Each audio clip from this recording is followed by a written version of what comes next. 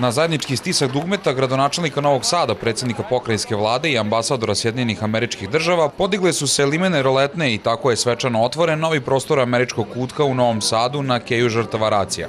Rad Novosadskog američkog kutka u novom prostoru pomogao je grad Novi Sad uz podršku američke ambasade u našoj zemlji. Ja se nadam da će ljudi koji vode ovaj prostor znati da ga iskoriste na najbolji mogući način, da će on biti otvoren za Novosađane i ne samo za Novosađane, nego za sve one koji žele da ovde provedu svoje slobodno vreme.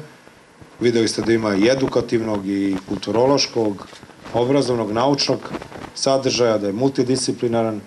Mene je obradova činjenica da vi odavde pružate i kvalitativnu i suštinsku podršku i našim studentima, đacima da mogu da ovladaju jezikom koji je, da kažem, univerzalno na celoj planeti radi sve engleskom jeziku i da je i tu konkretna podrška lokalnoj zajednici.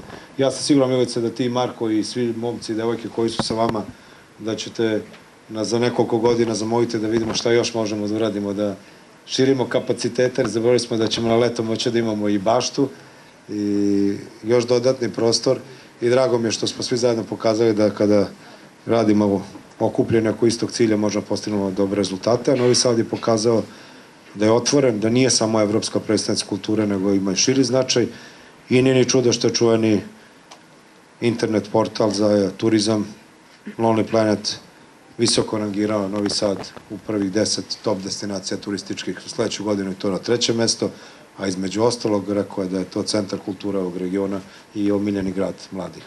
Dobrodošli u Novi američki kutak mladih, odnosno američki kutak. Novi prostor gleda na Petrovaradinsku tvrđavu, a prema rečima američkog ambasadora pogled je toliko lep da on već zavidi gostima i zaposlenima u novim prostorijama Novosadskog američkog kutka. Predsednik pokrajinske vlade je istakao da su srpski i američki narod u dugoj tradiciji odnosa iznedrili mnogo toga dobrog, a posebno veliki broj velikih mislilaca i naučnika kakav je bio i Mihajlo Pupin.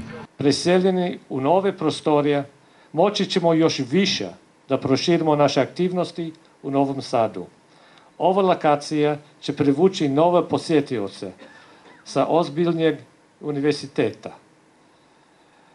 Veći prostor pretvara kutak u mesto za izlazak, gdje možete doživjeti Ameriku kroz izložbe, razgovor i dešavanja poput ovog. A i naučiti nešto novo u njoj, koristići naše baze podataka filmove i programa. Nalazimo se na mestu gde naročito tokom leta veliki broj novosađana, veliki broj građanki i građana Vojvodine prolazi i verujem da će mnogi želeti da posete američki kutak i da će u njemu pronaći informacije i E, nova znanja koja u Americi nisu imali. Američki kutak počeo je sa radom 6. oktobra 2004. godine kao zajednički projekat Američke ambasade u Beogradu i Kulturnog centra Novog Sada, koji putem multimedijalnih sadržaja i programa koji se organizuju zainteresovanima nudi detaljne i pouzdane informacije o Sjedinjenim američkim državama. Svi gosti Novog američkog kutka moći će da uživaju u većem prostoru, ali i mnogo opremljenijem okruženju. Podsjetimo, ovo je jedan od osam američkih kutaka koji postoje u našoj zemlji.